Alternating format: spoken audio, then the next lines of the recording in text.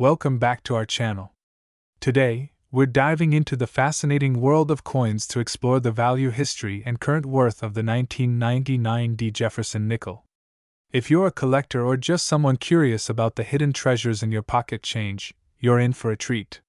Before we get started, make sure to hit that subscribe button and ring the notification bell so you never miss out on our coin related content. Let's jump right in. The 1999 D. Jefferson nickel is a 5 cent coin that holds a special place in the hearts of collectors. Minted at the Denver Mint, this coin features the iconic profile of Thomas Jefferson on the obverse and Monticello, Jefferson's famous home, on the reverse.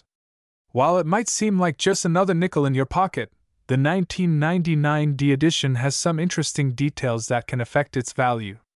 To understand the value of the 1999 D Jefferson nickel, let's take a quick trip back to 1999.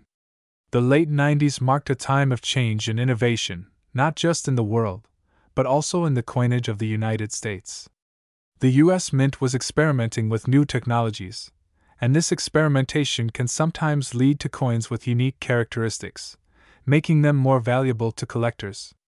One of the factors that can significantly impact the value of the 1999 D nickel is the presence of varieties or errors.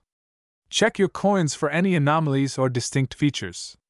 Mint errors, such as die cracks, off center strikes, or repunched mint marks, can elevate the coin's value. Keep an eye out for these subtle details that could turn your ordinary nickel into a sought after collector's item. Now, let's talk numbers.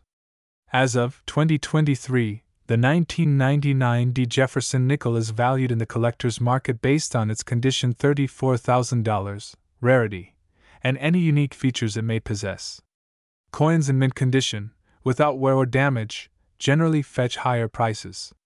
However, the real value can skyrocket if you happen to have a coin with a recognized variety or error.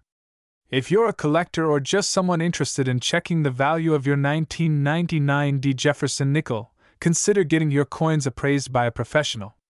Online forums and coin collecting communities are also great places to seek advice and share information with fellow enthusiasts. Keep in mind that the coin market can fluctuate, so staying informed is key to understanding the potential worth of your collection. There you have it, the intriguing story of the 1999 D. Jefferson nickel. Remember, the value of a coin is not just in its face value but in the history and unique features it carries.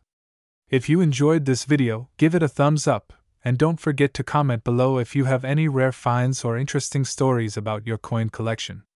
Subscribe for more coin related content, and until next time, happy collecting!